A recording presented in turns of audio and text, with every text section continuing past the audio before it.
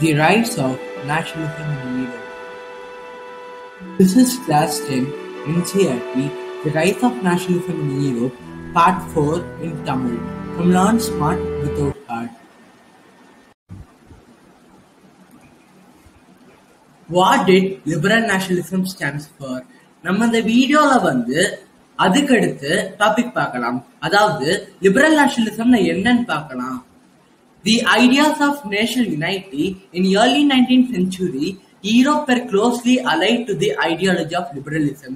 அதாவது நேஷனல் யுனைட்டியோட ஐடியாஸ் எல்லாமே ஏர்லி நைன்டீன் செஞ்சுரியில ஈரோப் ஃபுல்லாமே பரவிட்டு வந்துச்சு. இது வந்து ஐடியாலஜி ஆஃப் லிபரலிசமோட க்ளோஸ் கனெக்டிவா இருந்துச்சு. அப்புறம் என்ன கொடுத்துருக்காங்கன்னா the term liberalism derive from the Latin root liberal means free அதாவது தி டேர்ம் லிபரலிசம் வந்து லாட்டின்ல இருந்து டிரைவ் ஆகுது. லாட்டின்ல அதோட வேர்ட் என்னன்னா லிபர் இதோட மீனிங் என்னன்னா டு பிகம் ஃப்ரீ அதாவது ஃப்ரீயா இருக்கிறது தான் லிபரலிசம் அதாவது நம்ம ஏற்கனவே பிரெஞ்சு ரெவல்யூஷன்ல படிச்சிருப்போம். நிறைய சிம்பிள்ஸ் கொண்டு வந்திருப்பாங்க. அந்த இடத்துல லிபரலிசம் அவங்க எப்படி ரெப்ரசென்ட் பண்ணுவாங்கன்னா ஒரு ரெட் கலர் கேப் போட்டிருக்க மாதிரி ரெப்ரசென்ட் பண்ணுவாங்க. அதாவது அந்த இடத்துல அவங்க உள்ள ஸ்லேவ்ஸ் எல்லாமே ஃப்ரீயா இருக்காங்கன்னு சொல்ற மாதிரி ரெப்ரசென்ட் பண்ணியிருப்பாங்க. இதே தான் இங்க கொடுத்துருக்காங்க. அடுத்து for the new middle class liberalism stood for freedom for individual and equality of all before law அதாவது நியூ மிடில் கிளாஸஸ்க்கு லிபரலிசம்னா என்னன்னா ஃப்ரீடம் ஃபார் இண்டிவிஜுவல் அப்புறம் ஈக்குவாலிட்டி இருக்கணும். ஈக்குவாலிட்டி பிஃபோர் லா அப்புறம் பொலிட்டிக்கலா லிபரலிசம்னா என்னன்னா the concept of government by consent அதாவது ஒரு டெமோக்ராட்டிக் ஃபார்ம் ஆஃப் கவர்மெண்ட் இருக்கணும். இதுதான் வந்து concept of government by concern அதாவது த்ரீ டைப் ஆஃப் ஆர்கன்ஸ் இருக்கும். அந்த மாதிரி வேரியஸ் இன்ஸ்டிடியூஷன்ஸ் இருக்கும். ஒருத்தவங்களோட கையில மட்டும் பவர் இருக்காது. இந்த மாதிரி டைப் ஆஃப் கவர்மெண்ட் நம்ம சொல்லலாம். அடுத்தவங்க என்ன கொடுத்திருக்காங்கன்னா since the French revolution liberalism has stood for the end of autocracy and clerical privileges a constitution and representative government through parliament அதாவது பிரெஞ்சு ரெவல்யூஷன் நடந்ததுல இருந்தே லிபரலிசம்னா என்னன்னா எண்ட் ஆஃப் ஆட்டோக்ரஸி அதாவது எண்ட் ஆஃப் மொனார்கிக்கல் ரூல் ராஜாக்கால rule வேண்டாம்.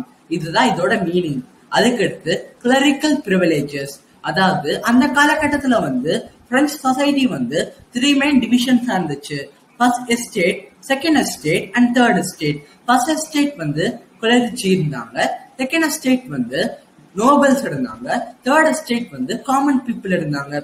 இதுல வந்து எல்லா டைப் ஆஃப் பீப்புள் இருந்தாங்க. அதாவது ப்ரொஃபசர்ஸ்ல இருந்து பீசன்ஸ் வரைக்கும் இருந்தாங்க. அப்புறம் இந்த இடத்துல அவங்க என்ன சொல்றாங்கன்னா அதாவது கிளரிக்கல் ப்ரிவிலேஜஸ்மே அபாலிஷ் பண்ணணும். அத சொல்லியிருந்தாங்க. அதுக்கடுத்து இந்த பீப்புள் எல்லாமே கான்ஸ்டிடியூஷன் அவங்க டிமாண்ட் பண்றாங்க. அதுக்கடுத்து ரெப்ரசன்டேட்டிவ் கவர்மெண்ட்டும் டிமாண்ட் பண்றாங்க. எது மூலியமானா பார்லிமெண்ட் மூலியமா கேட்கறாங்க அதுக்கடுத்து அவங்க என்ன கொடுத்திருக்காங்கன்னா nineteen century liberals also stress the inviolability of private property அதாவது நைன்டீன் சென்ச்சுரியில லிபரல்ஸ் எல்லாமே பிரைவேட் ப்ராப்பர்ட்டிக்கு சப்போர்ட் பண்ண ஆரம்பிச்சாங்க. அடுத்த பேராகிராஃப்ல அவங்க என்ன கொடுத்திருக்காங்கன்னா Yet equality before law did not necessarily stand for universal suffragage. அதாவது மேல நம்ம படிச்சிருந்தோம்ல ஈக்குவாலிட்டி பிஃபோர் லா ஆனா இந்த பாயிண்ட் வந்து யூனிவர்சல் சஃப்ரகேஜ்க்கு கரெக்டா ஆப்ட் ஆகல கரெக்டா மேட்ச் ஆகல. ஏன்னா அந்த காலகட்டத்துல வந்து பிரெஞ்சு சொசைட்டில வந்து டூ மெயின் டிவிஷன்ஸ் இருந்தாங்க. ஒன்னு வந்து ஆக்டிவ் சிட்டிசன்ஸ் இன்னொன்னு வந்து பேசிவ் சிட்டிசன்ஸ் ஆக்டிவ் சிட்டிசன்ஸ் வந்து மோஸ்டா வந்து ரிச் பீப்புளா இருப்பாங்க. அவங்க வந்து டாக்ஸ் பேயர்ஸா இருப்பாங்க. அதனால வந்து அவங்களுக்கு தனி ரெஸ்பெக்ட் இருக்கும். இதே நீங்க பேசிவ் சிட்டிசன்ஸ் எடுத்துக்கிட்டீங்கன்னா அவங்களுக்கு வந்து ரெஸ்பெக்ட் இருக்காது. அவங்க வந்து நிறைய வேஜஸ் இருக்காது. அதனால வந்து அவங்க வந்து மோஸ்டா ஆர்டிசன்ஸா இருப்பாங்க இல்ல பீசன்ஸா இருப்பாங்க. அப்புறம் நம்ம மெயினா பாசிவ் சிட்டிசன்ஸ்ல யார எடுத்துக்கலாம்னா விமனா இருந்தாங்க. அந்த காலகட்டத்துல வந்து விமனுக்கு வந்து எந்த ஒரு ரைட்ஸுமே இல்ல. அவங்களுக்கு ஓட்டிங் ரைட்ஸ் கூட கிடையாது. இத பத்தி தான் அவங்க அடுத்த லைன்ல எக்ஸ்பிளைன் பண்ணியிருப்பாங்க. You will recall that in revolutionary France which marked the first political experiment in liberal democracy, the right to vote and to get elected was granted exclusively to property owning, owning men.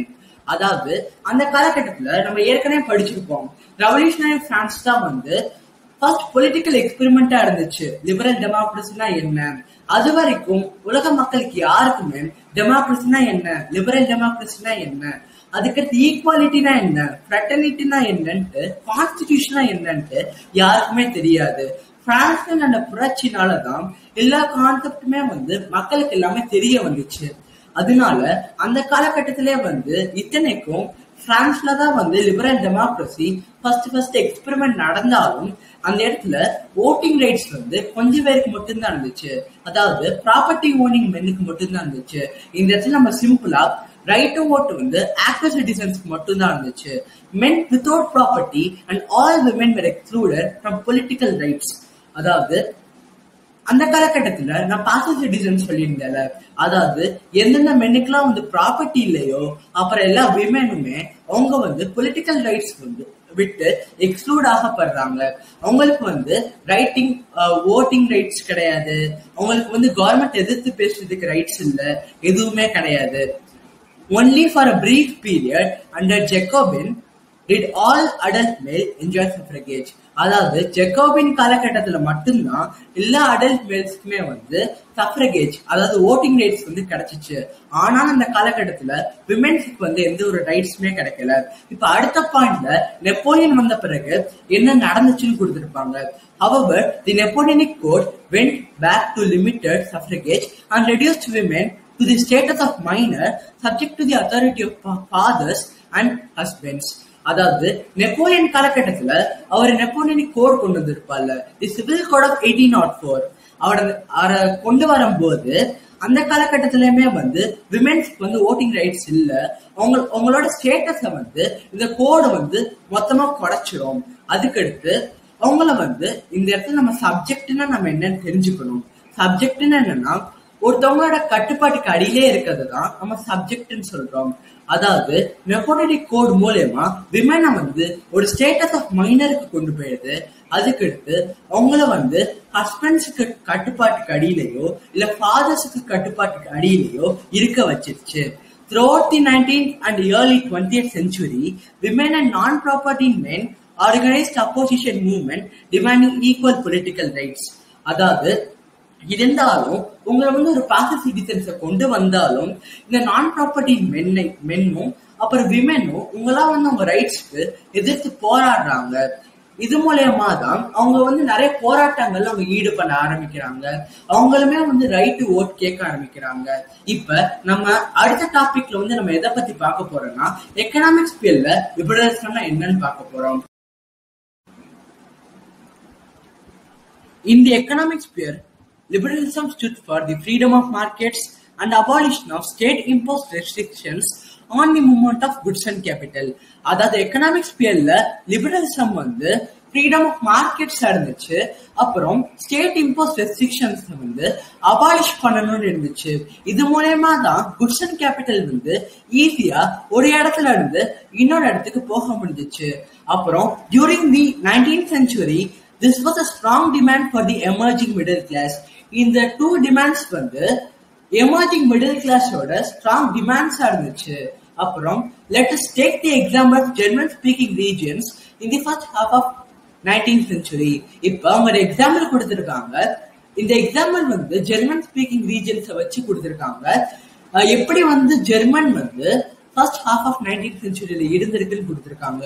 அதாவது இப்ப கீழே உள்ள பாயிண்ட்ல வந்து அவங்க என்ன கொடுத்திருப்பாங்கன்னா Napoleon administrative measures has created out countless small principalities of a confederation of twenty nine states sorry thirty nine states அதாவது Napoleon வந்து அவர் ஆட்சிக்கு வரும்போது இந்த ஜெர்மனி வந்து தேர்ட்டி நைன் ஸ்டேட்ஸா பிரிஞ்சிருந்துச்சு. அப்ப each of the states own currency and weights and measure அதாவது ஒவ்வொரு ஸ்டேட்மே வந்து டிஃப்ரெண்ட் கரன்சிஸ் ஃபாலோ பண்ணிட்டு இருந்தாங்க. Different weights and measures follow பண்ணிட்டு இருந்தாங்க. இப்ப அடுத்தவங்க ஒரு எக்ஸாம்பிள் கொடுத்திருப்பாங்க. Merchant travelling in eighteen thirty three from Hamburg to Nuremberg to sell this goods would have to pass through eleven custom barriers and pay a custom duty of about five percentage of each one of them அதாவது ஒரு merchant வந்து eighteen thirty த்ரீல ஹாம்ஸ்பர்க்ல இருந்து Nuremberg travel பண்ணி போறாங்க. அப்படி அவங்க travel பண்ணும்போது அவங்க லெவன் கஸ்டம் வேரியட்ஸ கடந்து போக வேண்டியதா இருக்குது இந்த இடத்துல லெவன் கஸ்டம் வேரியட்ஸ் என்னன்னா அதாவது லெவன் டோல் கேட்ஸ் இருக்கு. இப்ப காலகட்டத்துல வந்து கவர்மெண்ட் வந்து சில டைப் ஆஃப் டாக்ஸஸ் நம்ம இருந்து வாங்குறாங்க ரோடு யூஸ் பண்றதுக்கு. அதே மாதிரி தான் அந்த காலகட்டத்துல வந்து என்ன நடக்குதுன்னா ஒரு மெர்ச்சன்ட் வந்து குட்ஸ் அண்ட் சர்வீசஸ் கேரி பண்ணி போயிட்டு இருக்காரு அப்போ அவர் வந்து லெவன் கஸ்டம் பீரியட்ஸ் அதாவது லெவன் டோல் கேட்ஸ் அவர் பாஸ் பண்ணி போக வேண்டியதா இருக்கு. அந்த ஒவ்வொரு டோல் கேட்லயுமே வந்து அவர் ஃபைவ் பர்சன்டேஜ் ஆஃப் இன்ட்ரெஸ்ட் வந்து அவர் பே பண்ண வேண்டியதா இருக்கு. மோஸ்ட் அந்த டாக்ஸ் வந்து எப்படி வாங்குறாங்கன்னா அதாவது நான் சொல்லியிருந்தேன்ல தேர்ட்டி நைன் ஸ்டேட்ஸ் இருக்கு ஜெர்மனில. ஜெர்மன் கான்ஃபெடரேஷன்ல தேர்ட்டி நைன் ஸ்டேட்ஸ் இருக்கு. அப்ப அந்த தேர்ட்டி நைன் ஸ்டேட்ஸ்லயுமே வந்து ஒவ்வொரு ஒரு மெஷர்மெண்ட் வந்து ஃபாலோ பண்ணிட்டு இருக்காங்க. அப்ப ஒவ்வொரு டைப் ஆஃப் மெஷர்மெண்ட்டுக்கு ஏற்ப இவர் வந்து அந்த டாக்ஸை பே பண்ணி ஆகணும். அதுதான் அவங்க கொடுத்திருப்பாங்க. அதுக்கடுத்து அவங்க என்ன கொடுத்திருப்பாங்கன்னா அது each region has own system of of and measure this involve involve time consuming calculation இதனால ஒவ்வொரு ஸ்டேட்லயுமே வந்து டிஃப்ரெண்ட் டிஃப்ரெண்ட் மெஷர்ஸ் யூஸ் பண்றாங்க. டிஃப்ரெண்ட் வெயிட் ஸ்கேல்ஸ் யூஸ் பண்றாங்க. இதனால வந்து டைம் கன்சியூமிங் கால்குலேஷனா இருக்குன்னு ஒரு தவறு வந்து மென்ஷன் பண்றாரு. அடுத்தவங்க என்ன கொடுத்துருக்காங்கன்னா the measure of cloth for example was the ell which is in each region region for different length and ell of textile material but in in would get you 54.7 centimeter of cloth. In Mainz, 55, uh, 55.1 centimeter. In Nuremberg, 65.6 centimeter. In Freiburg, 53.5 centimeter.